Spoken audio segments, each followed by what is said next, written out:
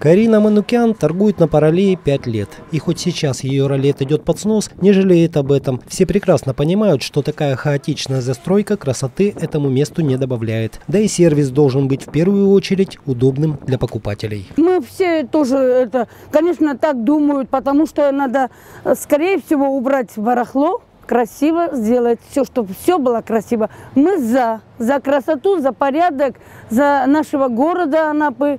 Мы всегда будем следить за порядком, чтобы наши отдыхающие побольше приехали. Мы тоже должны быть, как в европейских странах. Тоже красиво должно быть. Необходимость перемен назревала давно. Катализатором стал визит мэра Анапы. В марте во время рабочего объезда Василий Швец побывал на Паралии. Здесь же он дал поручение навести порядок с торговыми павильонами. Они никак не вписывались в общую концепцию курортной территории территории.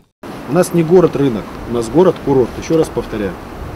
Поэтому вот эти истории все максимально оперативно проверить, собрать. Если здесь есть нарушение закона, демонтировать. Других вариантов у нас просто нет.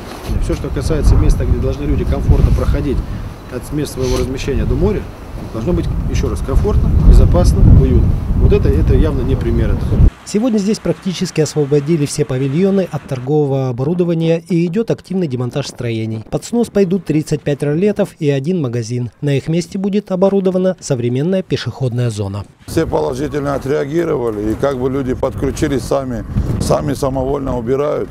Все понимают, что это все устарело и хотят, чтобы больше отдыхающих приезжало, чтобы курорт процветал, и в будущем какой-то общий найти и сделать Витязева более привлекательным для туризма. Мы все поддержали главу и самовольно все убирается, без принуждения, без ничего. Как бы уже работаем больше 20 лет на пляже. И мы это понимаем, что с каждым годом надо лучше, лучше. Потому что наши туристы выбирают другие города, не города даже, как за границей, Турция, у нас лучше, чем везде. Самые лучшие пляжи только у нас в Анапе.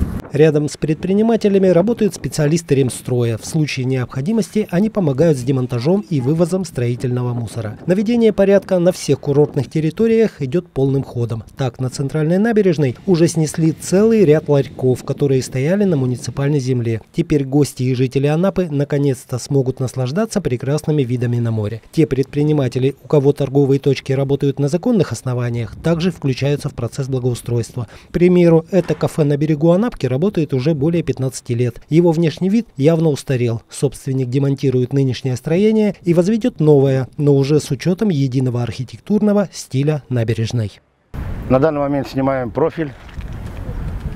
Ну из-за ветра пока приостановились работы. Планируем снять все, металлоко... все плохие старые металлоконструкции. Ну, в дальнейшем поставить все новое, чтобы смотрелось красиво на этой набережной. У предпринимателей осталось всего две недели. Анапа откроет курортный сезон раньше обычного. Уже 1 мая наш город будет готов принять гостей. Руслан Душевский, Анапа, регион.